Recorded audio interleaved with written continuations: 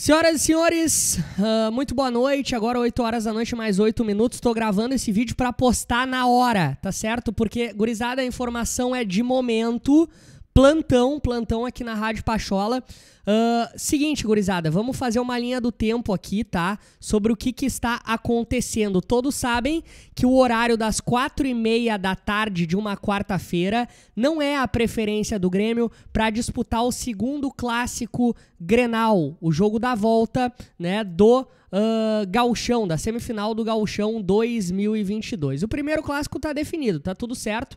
Vai ser no Beira-Rio, próximo sábado, quatro e meia da tarde. Se tinha a tendência de na quarta-feira o o jogo ser ou 4 horas ou 4 e meia da tarde. O Grêmio não quer isso. E senhoras e senhores, agora há pouco, tá?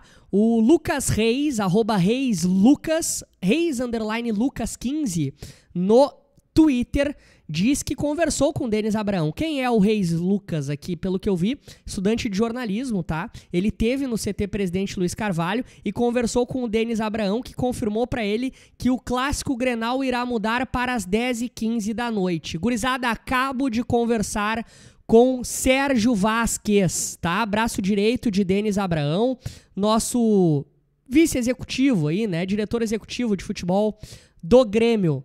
E eu conversei e perguntei para o Sérgio o seguinte: procede que o Grenal da Arena pode ser às 10h15 da noite?